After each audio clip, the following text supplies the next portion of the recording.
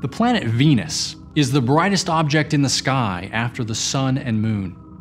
Records dating back to the Babylonian civilization reference Venus as a bright celestial object in the skies. Other civilizations, such as the Egyptian, Greek, and Chinese, include observations and cultural lore about Venus. Interestingly, historical references sometimes called Venus the morning star or sometimes the evening star. The ancient Greeks called Venus by two names, Phosphorus and Hesperus, supposing it to be two completely different objects. The two object idea isn't completely unreasonable, since for a portion of our year, Venus precedes the sun in the sky, so it will appear in the early morning just before sunrise. For the other portion of the year, it follows the sun, being one of the first objects visible in the evening. In fact, Venus is never more than 48 degrees from the Sun, which is termed its greatest elongation. This alignment is due to its orbit being inside of Earth's orbit, closer to the Sun. And in fact, 2 Peter 1 verse 19 makes reference to the day star that would rise when the day is dawning. In this verse, the words day star are translated from the Greek word phosphorus, which is a reference to the planet Venus. In more modern times, Venus has taken on the description of Earth's twin, or maybe Earth's sister planet. Venus is not only the planet that travels closest to Earth in its orbit, but it has such nicknames because it's nearly identical to the Earth in its size and its mass. However, Venus is an interesting case study in planetary characteristics, since in actuality it is extremely different from Earth in almost every other way.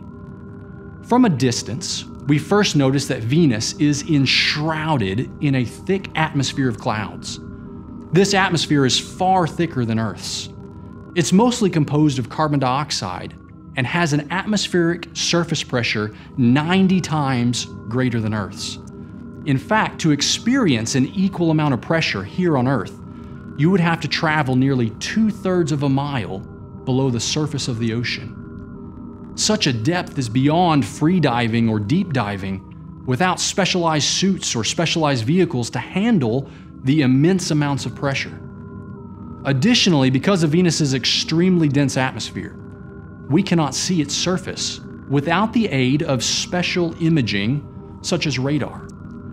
In 1990, the Magellan spacecraft was sent into an orbit around Venus and it began taking images using its radar altimeter.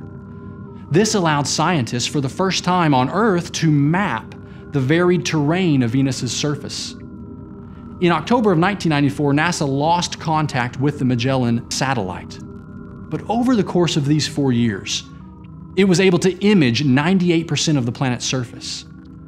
Beneath the thick clouds, Venus's surface shows signs of volcanic activity, possibly even presently active. In fact, a five mile high shield volcano named Maat Mons has been revealed by the surface radar mappings. And although it's unclear if Maat Mons is still an active volcano, there are lava flows that can be seen extending across the plains to the base of the volcano.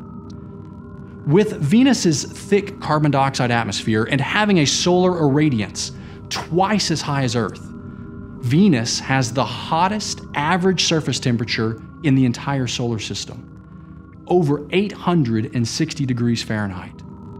The extremely thick atmosphere also traps the heat in a greenhouse effect, so the temperature is pretty much always 860 degrees, whether it's daytime or nighttime. Such an incredible temperature means that liquid cannot be present on its surface. This is a stark contrast to Earth, where more than 70% of the surface is covered with water.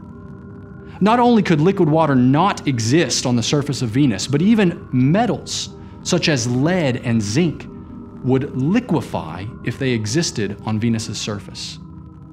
Another significant contrast between the two planets, Venus and Earth, is the presence of Earth's strong magnetic field. The rather fast rotation of Earth once every 24 hours is thought to maintain a steady and sufficiently strong magnetic field to provide a finely tuned cocoon from the dangerous streams of charged particles flowing from the sun. By contrast, Venus has an extremely slow rotation, once every 117 Earth days, and Venus lacks any magnetic field that could associate with protection from this dramatic solar wind.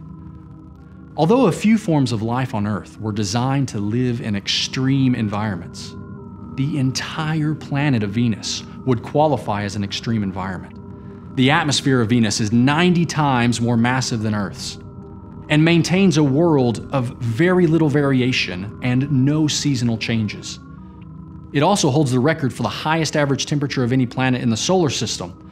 So, without oxygen or water, having an extreme atmosphere, extreme heat, and no magnetic field to protect from dangerous radiation, Venus could not sustain life. While Earth was designed by God to bear a host of thriving ecosystems, He did not design Venus to be Earth's twin.